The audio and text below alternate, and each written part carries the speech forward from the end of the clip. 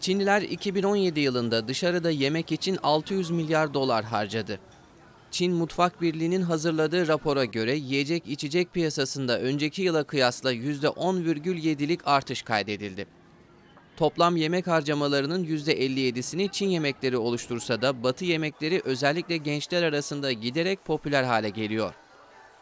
1990 sonrası doğan nüfusun Çin mutfağına en az sadık kesim olduğu belirtiliyor.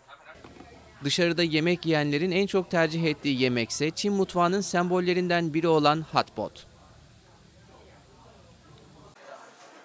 Yiyecek içecek pazarında büyük rekabetin yaşandığı Pekin'de başarıyı yakalamış bir Türk var. Dönerci açmak için geldiği için de Meksika restoranı işleten Deniz Sakaoğlu kısa sürede restoran sayısını 3'e çıkardı. Çin'e 2011 senesinde geldim ve gerçekten aslında döner restoranları açmak amacıyla gelmiştim başlangıçta Çin'e. Ama bunu bir sene yapmaya çalıştıktan sonra Lugas diye bir Meksika restoranıyla beraber iş yapmaya başladık. Oranın yönetimini biz devraldık. Bunu da 2014 senesine kadar yaptıktan sonra Qmex'i o zamanki sahiplerinden devralıp işletmeye başladık. Ve şu an bu Qmex markasını büyütmeye çalışıyoruz. Şimdilik iki restoranımız var. Mayıs'ta üçüncü restoranımızı açacağız. Gerçekten çok hızlı büyüyen bir mark, pazar şu an.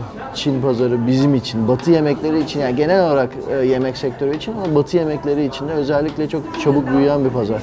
Ve um, çoğunlukla Tex-Mex ve Cal-Mex dediğimiz yemek türlerini sunuyoruz um, müşteriye. Um, döner gibi bir yemeğin ve Çin'de hiç bir yerde neredeyse olmaması gerçekten um, çok boşa giden bir potansiyel potansiyel aslında ve gerçekten kullanılması gerektiğini düşünüyorum. Çin'de olmayı olmanın benim için ve bizim kurduğumuz şirket için çok büyük bir avantaj olduğunu düşünüyorum. Yani gerçekten bu işi ben Avrupa'da da yapmak isterim, Türkiye'de de yapmak isterim ama şu an olduğum yer gerçekten doğru olduğunu düşünüyorum. Yani doğru zamanda doğru yerde olduğumu düşünüyorum ve çok büyük bir imkan görüyorum şirketimizin için büyümesi için.